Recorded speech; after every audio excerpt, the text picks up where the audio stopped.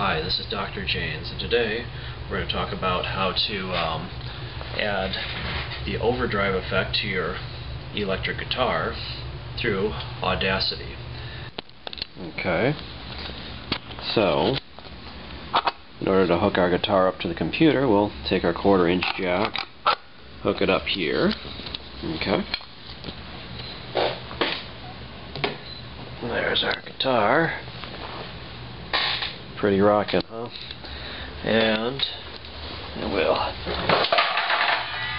up.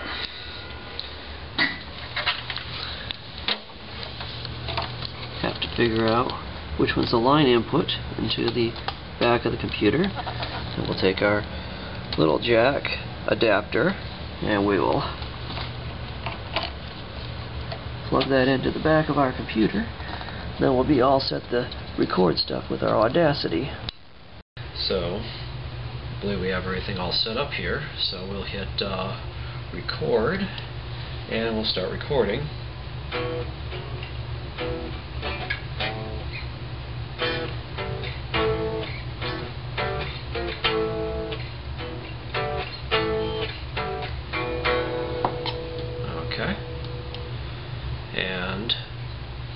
Let's uh, play that back to see how it sounds.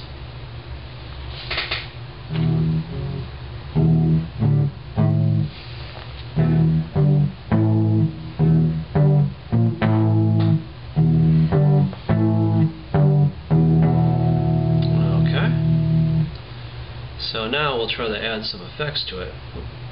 Now what the overdrive is going to do is it's going to clip off the tops of the uh, the uh, basically the the guitar signal will look like a sine wave if you zoom in on it, and uh, we want to clip off the tops of them so it'll become more like a square wave, and that will give the overdrive effect.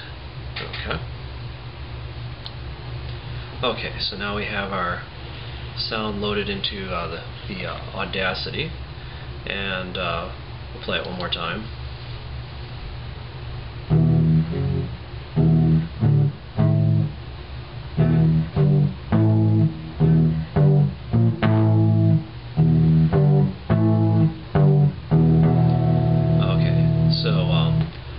Different things we can do to this. Let's try just uh, adding uh, effect distortion. Okay, we're going to try hard clipping. We're just going to clip off the tops and the bottoms of the sine waves that are generated by the, the guitar signal. And so we'll apply that.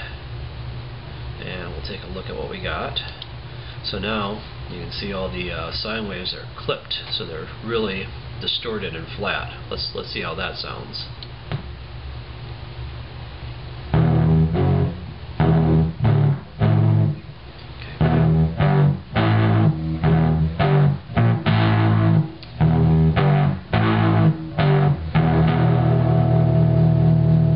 Now we're rocking, huh? Shall shall we try adding some? Um, let's maybe add some echo to it. How about that? We'll try that. See how that sounds.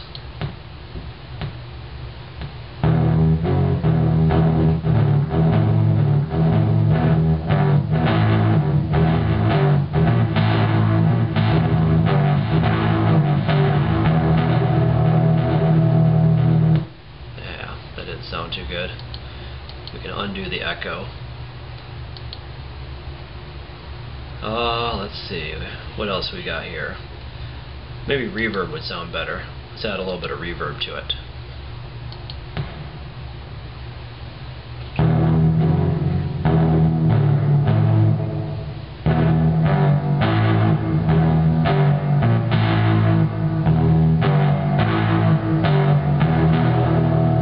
Alright, now we're really sounding good. Okay, so anyway, there's a lot of different things you can play with all these different dials and stuff. So uh, you don't have enough money to buy an effect pedal for your guitar, or you just want to be able to change the effects afterwards, add them into your music. You can do that all with Audacity. Okay, so I'm going to sign out for now, but we'll be making some more videos if people are interested in, in learning more about Audacity and how you can make music with it. Okay, this is Dr. Jaynes, and thanks for watching.